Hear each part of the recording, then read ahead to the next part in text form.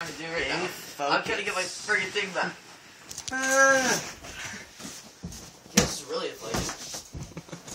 Oh, I don't pull it all the way. Dude. Oh. Yes. Hold on, broke there. You Uh. broke your closet. Again. I already Again. punched it before and broke it. okay. Yes. You know, I was kidding, right? You know how much work I did to take this, get this thing off? That's what you're pissed about? I was almost a head slammer, literally. No, physically. Literally. You didn't write it down literally. Like literature. Is that look fine to you? No, it doesn't. Jack, you're good at that. Fuck you.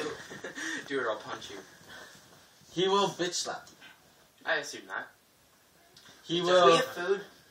Yeah, my parents are making it downstairs right now. Are you recording this? That, that couldn't be any more obvious. Might as well just raise your hand there and be like, guys, I'm recording this. Just let you know. Dude!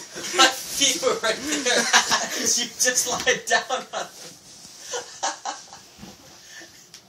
Alright, so so My far. feet were actually Did you fix it, McLaren? Yeah, but it kind of got loose. Like, I mean, it won't stand up now. Um, yeah, that's not any less than it was. Congratulations, you have completely managed to do nothing. Taking it easy.